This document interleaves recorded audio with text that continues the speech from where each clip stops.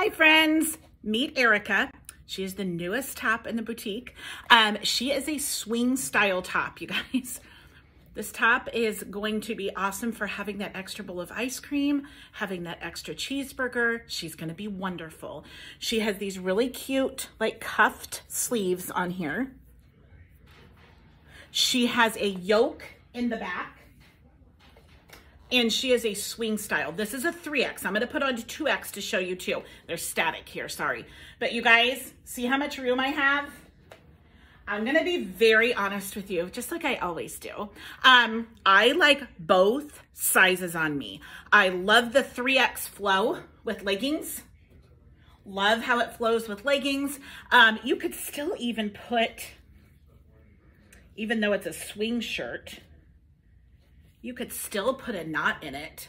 You'd have to fold over the material, but you could still put a knot in it. Super cute swing style. It's supposed to be swingy and big, you guys. That's what a swing style shirt is.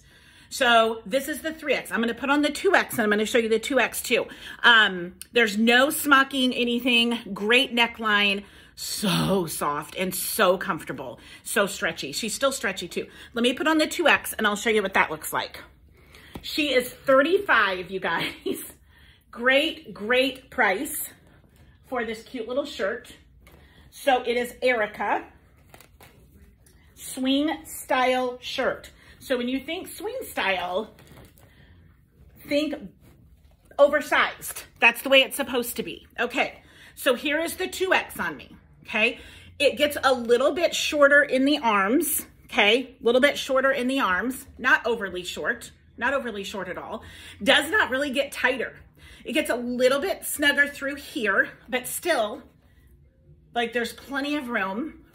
Still covers everything for leggings and is still nice and flowy. I love her, you guys.